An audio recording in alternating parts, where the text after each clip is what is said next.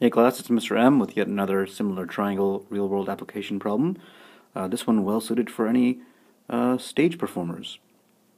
Uh, apologize for my terrible handwriting here. The app that I'm using for this does not allow you to type in text just yet, so I have to write these by hand. But I'll read them to you.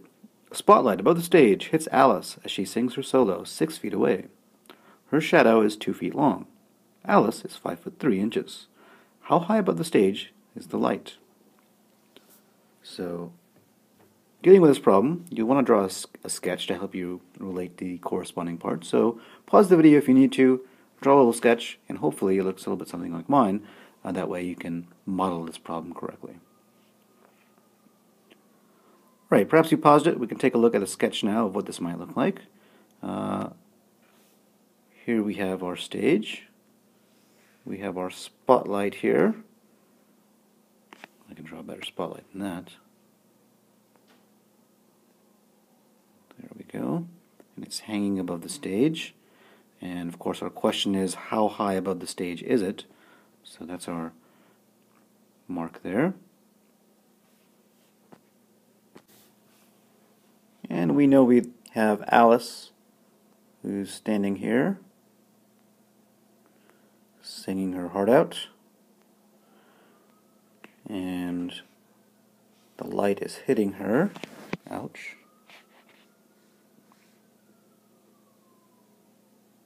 And it creates a shadow, and that shadow is two feet long.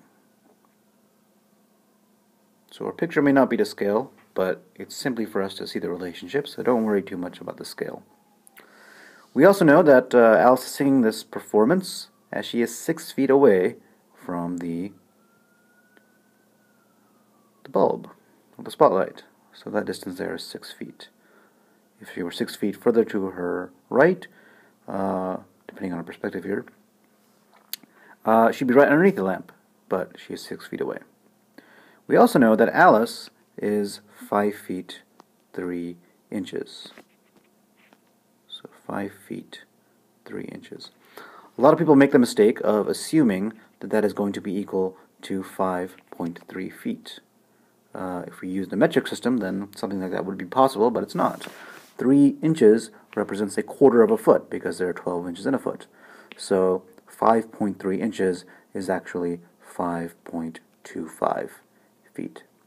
And if you're not sure about that, you can watch one of the old videos and it'll show you exactly how that calculation is made. So our friend Alice here is 5.2 feet, 5.25 feet uh, in, in height. And once again, for problems like these, it's safe to assume that you're measuring height as a direct line to the ground. And you should notice that similar triangles are going to be uh, in play here. And if not, it may help you once you have your model drawn. Uh, and it does, it does help for these problems to draw a model, even uh, if they're not as quite as detailed as this one. Just something to let you visualize. But if it's not clear to you how triangles are involved, then after you've drawn your model, go ahead and, and draw sort of a simplified version of it. So we have this is x, that's what we're looking for. We have this distance is 6, this distance is 2, and this is 5.25.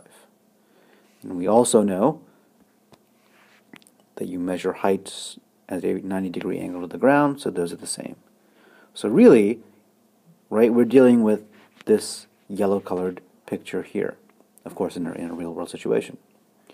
Uh, now you should notice there are two triangles here, and both of those triangles share this angle here at the tip. And what might make that even more clear for you, especially if you struggle with these problems, is to literally draw both of those triangles separately. So you have one big, huge wedge shape or ramp shape, and you have a little baby version tucked into it. And what do we know about these two shapes? Well, we know that they both have right angles, and they both literally share this angle right here. It's the exact same corner for both of them. One is, it appears, a smaller version of the other. We haven't established that yet, though. But now we are ready to establish that because you have a 90 that matches with a 90. You have these two angles that match, which is angle-angle similarity. So these triangles are indeed similar. And because of that fact, we can now make some proportions. So what do we know about the small triangle? Because we have a lot of information uh, about that. We know that the bottom is 2, and we know that the altitude is 5.25. Right, that's just coming from these figures right here. In the bigger triangle, we don't know the height. That's what we're looking for. That's the x. But we do know the base of the entire triangle. And it is a very common mistake to people for people to call 2 uh, and 6 to be matching parts of similar triangles, and that's a mistake. 2 is the base of the small triangle. Let me outline it here for you in a color you can see. 2 is the base of the small triangle, and 8 is the base of the large triangle. It's this distance here that's 8. So 2 matches with 8. So now you have your similar triangles by angle angle. You have some matching parts here that you can create a scale factor with, and from there you're good to go. So let me try to cram this in here. Uh, 2's matching partner in the bigger shape is 8. So the scale factor there from large to small is 8 to 2, which is 4. Let me pick a brighter shade of blue. 8 to 2, which is 4. So this triangle right here is, uh, the bigger one is 4 times bigger uh, in length than this triangle here. So, now that we know the scale factor is 4, let me not circle that, it's not the answer. Uh, nothing wrong with circling it, but it's not the answer. It's, that's 4 uh, is the scale factor. So, take your vertical distance, 5.25, and multiply it by the scale factor. And 5.25 times 4, well, 4 times 5 is 20, and 4 times a quarter is 1. So the answer would be 21 for x. So if x is equal to 21 and x represents the height, the light is the spotlight is 21 feet off the ground. And there we have it.